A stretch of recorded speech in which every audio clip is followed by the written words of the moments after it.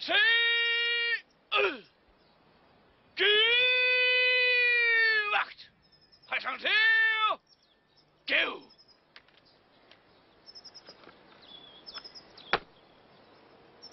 Forbrydelse betaler sig ikke. I kan lige så godt holde op med at begynde med det samme. Lad os tage masken ned og lægge kortene på bordet. Vi er faktisk på sporet af de internationale bagmænd. Vi er lige hælende på dem. Inden længe så klapper fælden. og så gælder det om ikke at have noget i klemme. Jeg skal personligt holde øje med de her. Og skulle de få små fikse idéer, så klapper fælden. Klap, klap. Og hvad var navnet, sagde de? Olsen. Egon Olsen. Jeg vel, jeg... Jeg skulle hilse dem fra herr Holm Hansen. Ja, så. Vi har lige tilbragt ni måneder sammen. Meget sympatisk bekendtskab. Ja, vidste jeg. Og hvad drejede det sig om? Magasin du Nord. Magasin du Nord? Hvem taler om kup? Jeg har ikke hørt tale om noget kup. Jeg, jeg kender ikke noget til noget kup. Hvad så? Ja, de er arresteret, de er bare arresteret. Vil de være og følge med? Men for hvad? For, øh, for værtshusorden. Så lader jeg mig arrestere. På ingen måde, bevar mig. Øh, det var min pligt at gøre mig opmærksom på, at... Jeg befinder mig i livsfare. Ja, ja. Øh, nej, nej, ikke her, men øh, øh, deroppe. Og hvad har de så deroppe? Militære hemmeligheder. Hvor spændende. Nå, det er dejligt. Jeg elsker bryllupper. Ja, så, øh, så... Kunne godt tænke mig at gifte med mig? Jo, selvfølgelig. Så lad os giftes lige med det samme, herr Mortensen. Jeg har lyst lige nu. Men fru Hansen dog.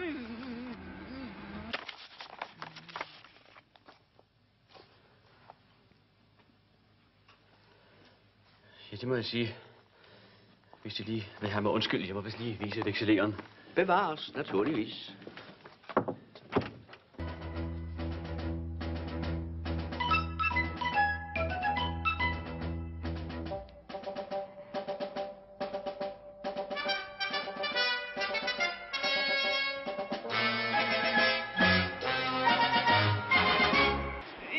Gøre damerne opmærksom på, at øh, det er livsfarligt at begive sig inden for afspærringen. Livsfarligt. Ja, livsfarligt.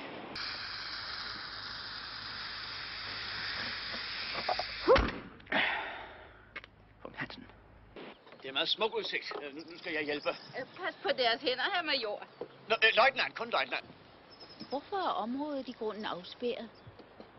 Men det er måske militære hemmeligheder. I grunden ja, i grunden ja. Men øh, hvis de kan holde på en hemmelighed, så... Jeg kan holde på flere end en. Jeg vidste, ja. Åh, oh, ja, nej. Så det, man regner med, at der i området findes adskillige underjordiske bunkers, hvis placering vi ikke kender. Og man ved jo aldrig, hvad der er i de bunkers. Nej, det er klart. Kongens navn, de er arresteret. Alt, hvad det siger, vil blive brugt imod dem. Smarte fyre, hva'? Men mig kan jeg ikke lave nummer med. Ind i vognen mere. Værsgo.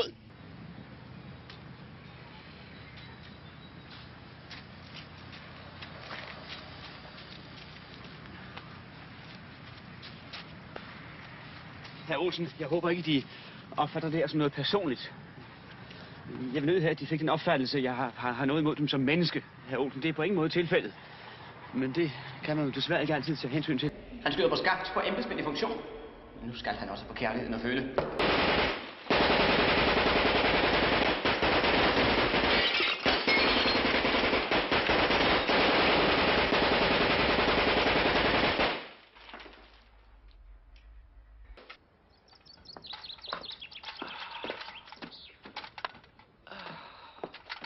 Nej, nej, nej, nej!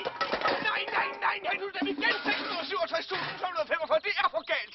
Elendig Herr løjtnant, jeg melder... 10 km stoppetur! Fuld faldmæssig! Træd af! Men Jesus så. Det er Olsenbanden, så. Der er ikke nogen som helst tvivl. Det er deres stil, deres metoder. Jeg synes, så var de de eneste, der var her.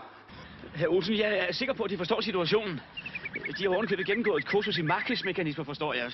Så har de også lært, at når man står over for så mange penge, budgetter og omsætninger så store, at de overgår al forstand, så kan man ikke mere tage hensyn til den enkelte, hvor flink og sympatisk og velmenende han end er. Det kan simpelthen ikke betale sig. Han må vige for helheden, for den øh, overordnede strategi. Bare os to alene. Jo. Men ifølge reglementet til officerer forbudt at udsætte sig for øh, unødig livsfare. Tænk på den kostbare uddannelse, der vil være spildt. Kunne det være så farligt? Mon Dieu. Du godeste, hans majestæt kongen.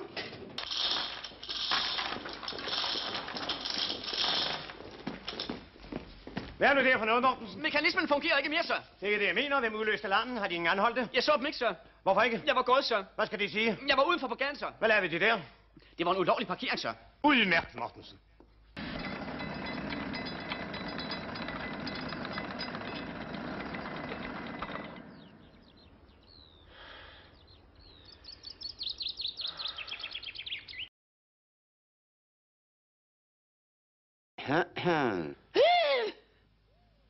Det havde de nok ikke ventet, hva'?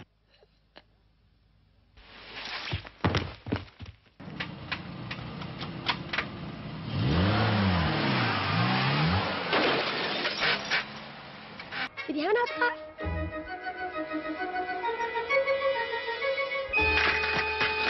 Gud være med dem.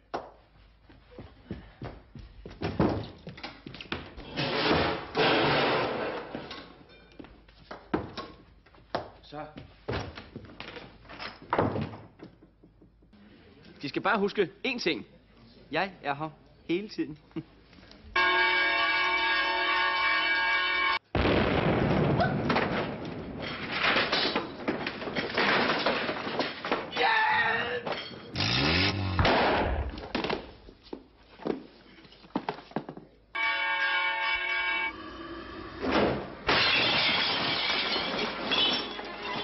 Der går det stærkt,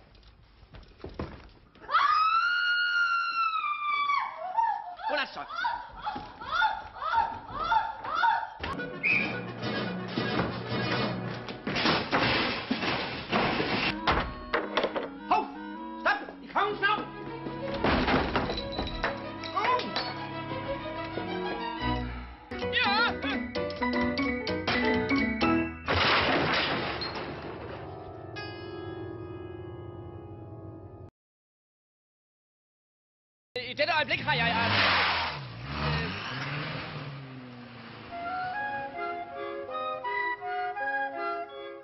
Hold øjnene åbne. De kender deres pligt. Slut! Jeg er på sporet, så. Jeg skal nok få fat på dem, så.